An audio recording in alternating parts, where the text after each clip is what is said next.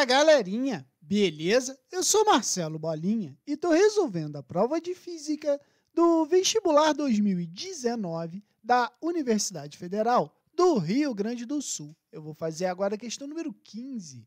A questão diz assim: duas pequenas esferas idênticas contendo cargas elétricas iguais são colocadas no vértice de um perfil quadrado de madeira sem atrito, conforme representa a figura 1 abaixo.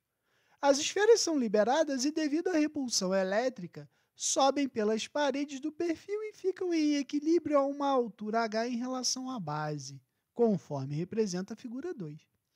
Sendo P, Fe e N os módulos, respectivamente, do peso de uma, de uma esfera, a força de repulsão elétrica entre elas, e da força normal entre uma esfera e a parede do perfil, a condição de equilíbrio ocorre quando. Então, se a gente for pegar uma esfera, como o próprio problema disse, a gente vai ter a seguinte situação. Para baixo, a gente tem o peso, certo? Nesse sentido aqui, a gente tem a força normal. Como as duas cargas têm a mesma, como as duas esferinhas têm a mesma carga, a força elétrica ela é nesse sentido devido à repulsão, né? Então, se a gente for pensar em termos de força, eu poderia pegar a minha força normal e colocar a força normal nessa direção, que seria o n na direção x, e nessa direção o n na direção y. Beleza?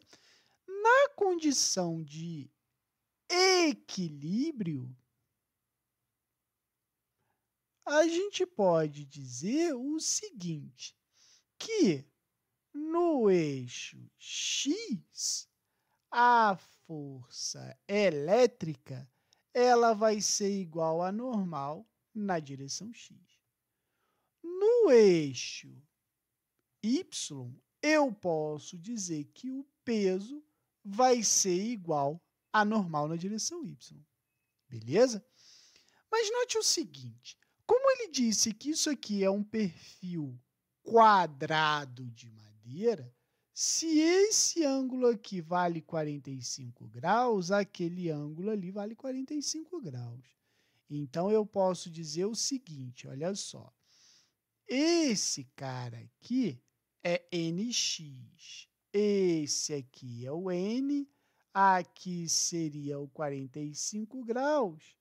E aqui seria o meu ny. Então, eu posso tirar daqui duas relações trigonométricas. A primeira é o seno do ângulo. O seno é o cateto oposto sobre a hipotenusa, não é? Então, eu posso dizer que o NY vai ser igual a N seno do ângulo. E a outra relação é o cosseno do ângulo que é o cateto adjacente sobre a hipotenusa, ou seja, o meu nx vai ser igual a n cosseno do ângulo. Então, olha o que eu vou fazer. O FE não é igual ao NX, o NX não vale N cosseno do ângulo, então eu posso dizer que a força elétrica vai ser igual a N cosseno do ângulo. Ou seja, A normal vai ser igual à força elétrica divididos pelo cosseno do ângulo. O peso não é igual a NY, então o peso é igual a N seno do ângulo. Ou seja, A normal vai ser igual a peso vezes o seno do ângulo. Como é A normal igual, eu posso dizer o seguinte: se a normal é igual a normal, eu posso dizer que a força elétrica sobre o cosseno do ângulo vai ser igual ao peso sobre o seno do ângulo.